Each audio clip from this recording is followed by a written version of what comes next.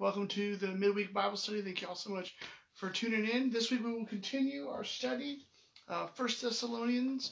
Uh, we are in chapter two, verses nine through fourteen. But before we jump in, would you join me in prayer? Lord, I want to thank you for this time and uh, the privilege it is to to do what I do. Lord, you are good and you are kind, and Father, I pray that you would bless this time for your glory.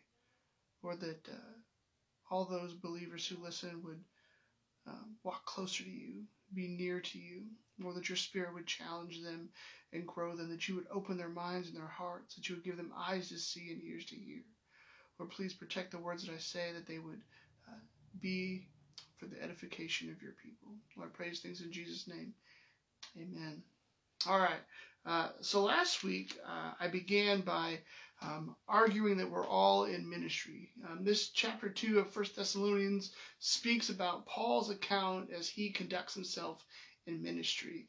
Um, and I, I kind of want to go back to Matthew 28, verses 18 through 20 again and, and, and pick up there briefly just as a review. Um, because I, I, I, do believe that we are all called uh, to be in ministry. Um, that, that passage clearly tells us that that uh, the original disciples were called to go and make other disciples, and that next generation was to go and make another generation of disciples, and, and so on and so on and so on, all the way and it gets down to where we are, hundreds of years later. Um, you and I are not called just to be listeners about Jesus or people who uh, think Jesus is pretty cool and pretty neat.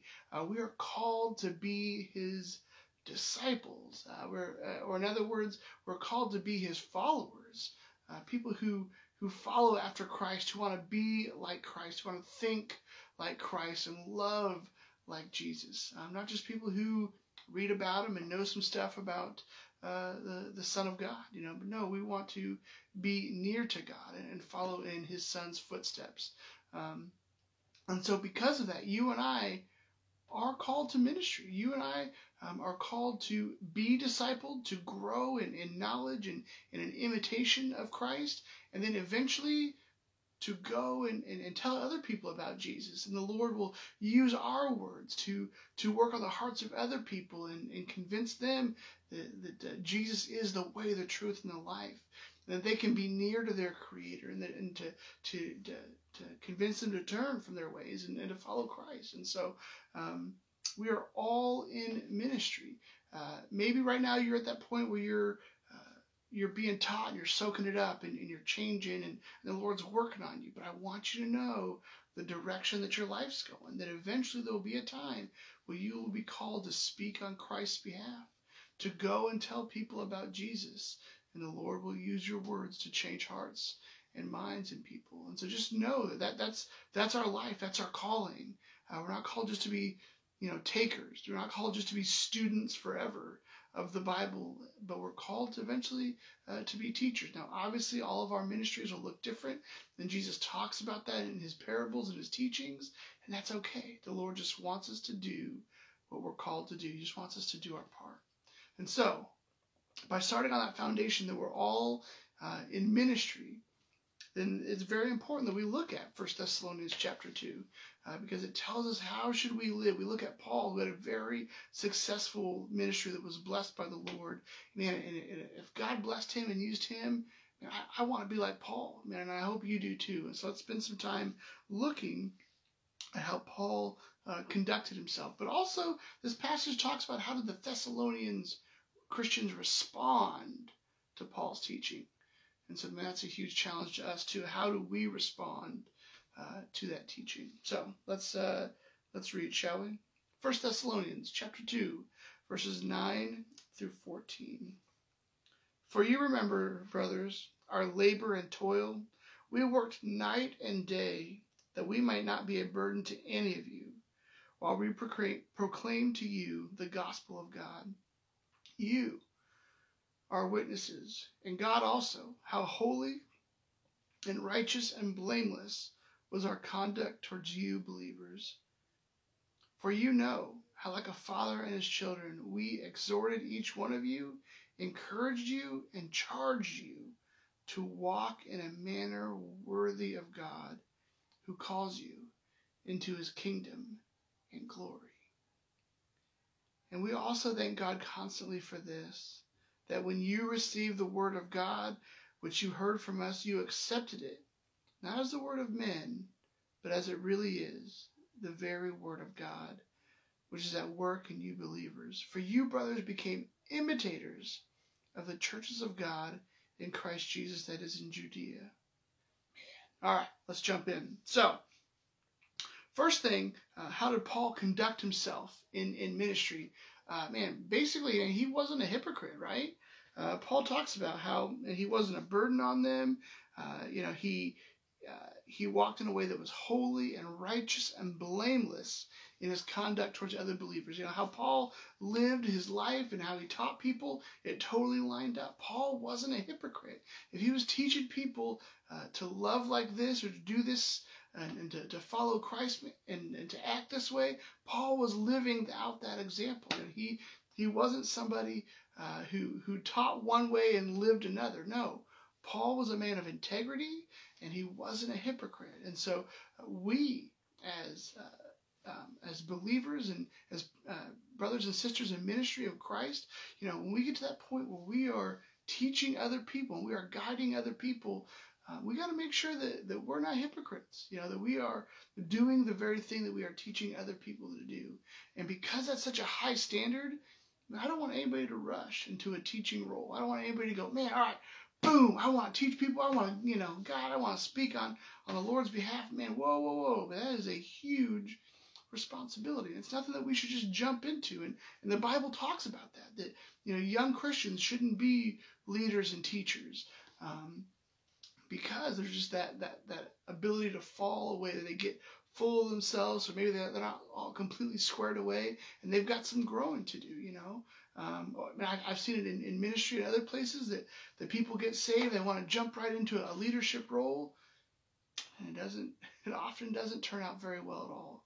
Uh, you know, maybe somebody falls away or, um, you know, mistakes are made and, and people's faith are, is, is damaged, you know, because they trusted this person. Um, and now they see that person's a hypocrite. And it really, uh, really sets people off. It really pushes them away uh, from wanting to be like God um, and to, to follow Christ, you know, and, and to live this life. Um, and so, you know, we've got to make sure that we are, you know, correct, that we're right, that we, um, you know, the Lord has blessed us with enough self control before we jump into that, uh, that we know that it's, it's really our timing and our place uh, before we do that. You know, that was a huge uh, complaint and, and, critique that Jesus had um, of the religious leaders of his day. You know, the, they were called the Pharisees and the Sadducees. Um, man, and Jesus often came down on them because they would teach people one way and they themselves would live a different way. Um, you know, out out in public, they're they're saying this thing, and maybe even in public, you know, they're they're leading that life. But Christ, the Son of God, knew that in their hearts in their private lives, they were nothing uh, but hypocrites, just empty. Um, he called them whitewashed tombs. You know, on the outside it looks great, but on the inside they're rotten and dead. Um, and so that, that is a huge thing.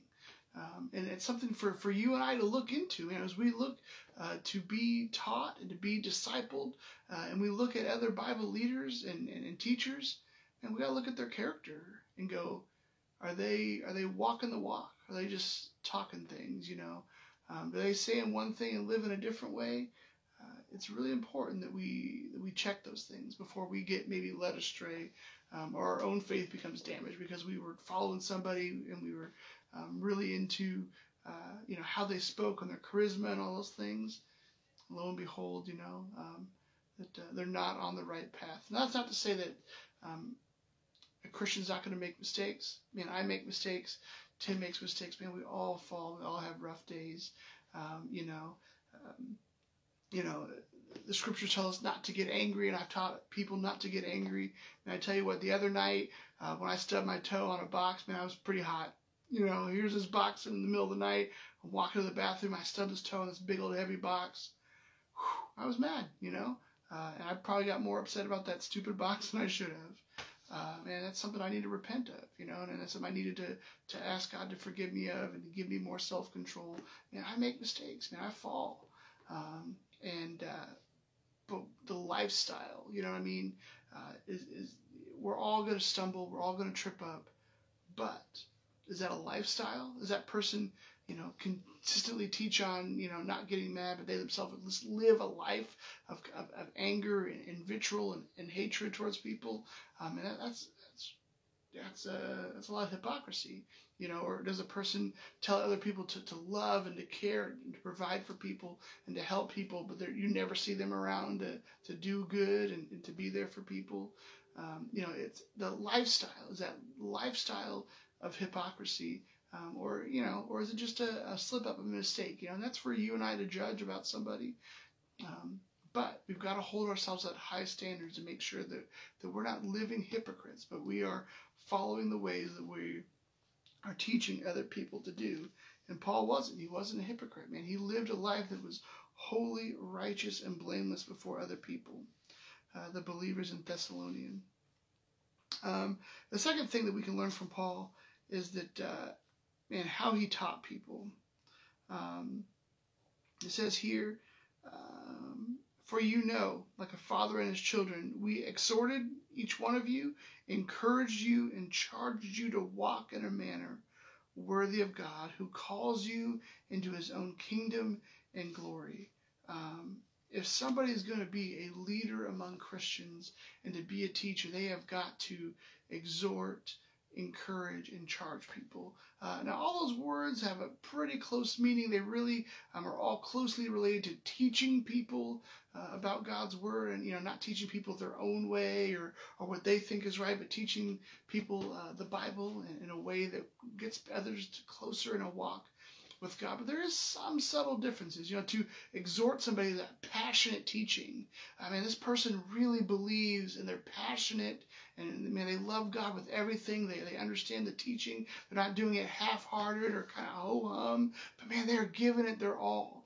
Um, they're passionate teachers about God's word. Um, you know, and they're, they're giving it all their strength, all their energy, their time, their, their mental strength as they study. They're spending time with it. They're, they're doing all these things. It is, man, it is passionate teaching. Uh, they encourage people, you know, as you and I go through life, and there are hard times, and there are um, difficult things that we go through, and you and I all need to be encouraged. We all need to understand uh, you know, other people's hurts and the pains they're going through and, and, be able to help them up and lift them up and give them an arm and say, hey, you're not alone. Let's go through this together. Um, Paul did that. Uh, and, and the Bible teachers that you look up to and, and the, the Christian leader that you are going to grow up into and be, and you have got to be willing to encourage people, to help people, and be there for them. Um, and Paul did that as he lived his life. He encouraged people. He wasn't just always beating them down, uh, but he encouraged them in Christ. He told them about the love of Jesus and, and the forgiveness and the power of Christ that nobody, nothing can take them out of God's hand. That, that is powerful stuff to know that the Lord never gives up to me, that uh, my salvation is never on the line. But the Lord is always there to love me and forgive me and keep on going. And that is encouraging stuff, and we need to know those type of things. Um, and it says also Paul charged them. Now the word charge definitely has a legal bent to it, uh, and it definitely has a kind of a correction connotation to that word. Uh, you know, to to to be somebody in ministry as somebody who's going and making other disciples and, and leading and guiding people. There is an aspect where you and I will have to correct people. You know, like, hey, the things that you're doing doesn't line up in the best way with what God's word says. You and I are going to have to correct people. Uh, we can't just tell people what they want to hear all the time. And I, I hate conflict. I would love to be helpful and encouraging all the time. Man, I can't do that. Because eventually it gets to a point where I'm going to have to either tell somebody what they want to hear or I'm going to have to correct them and go, actually, and if you want to follow Jesus, this is the way you need to go. And you, you can't go that way anymore. It's time to turn. It's time to take a different path. You know, that lifestyle or those actions or that attitude doesn't walk you closer to the Lord. Uh, that doesn't honor Him, that doesn't glorify Him and lift Him up.